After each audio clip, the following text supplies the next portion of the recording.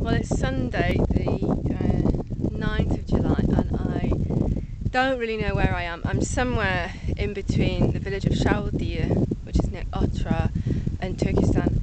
I hope, but I've been cycling all morning. It's now nearly three o'clock, and I've done about 40k, which is nothing because there's a huge headwind, which is coming. Well, it's just coming from everywhere. As soon as you turn a little bit, then the wind is there, which is driving me bananas.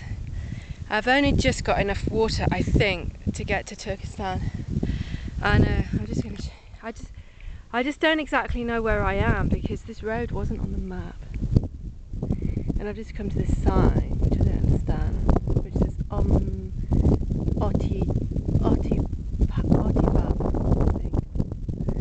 But uh, a guy in a car this morning just said this road was a new road and it wasn't.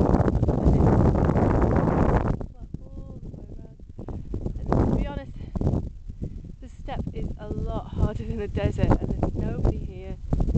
There's no villages, so it's really, really tough. And, the won't. I just thought I'd record it to remember. don't do this if you don't like boring, hard, tough,